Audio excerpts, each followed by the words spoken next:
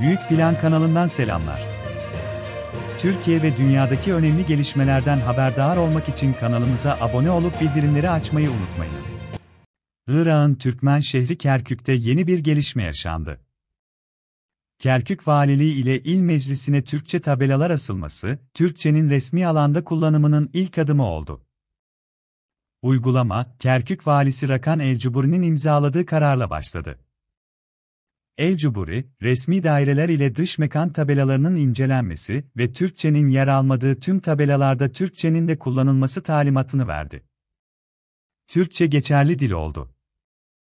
18 Eylül tarihinden itibaren yürürlüğe giren karara göre, il genelinde resmi yazışmalar içinde Türkçe geçerli dillerden biri olacak. Valiliğe Türkçe tabela asıldı. Kararın ardından Kerkük Valiliği ile İl Meclisi'ne Türkçe tabelalar asıldı. Karar çerçevesinde kentteki tüm okulların tabelaları güncellenecek. Türkçenin yanı sıra Arapça, Kürtçe ve Süryanice de tabelalarda kullanılacak. Karar, Kerkük genelinde büyük sevinçle karşılandı.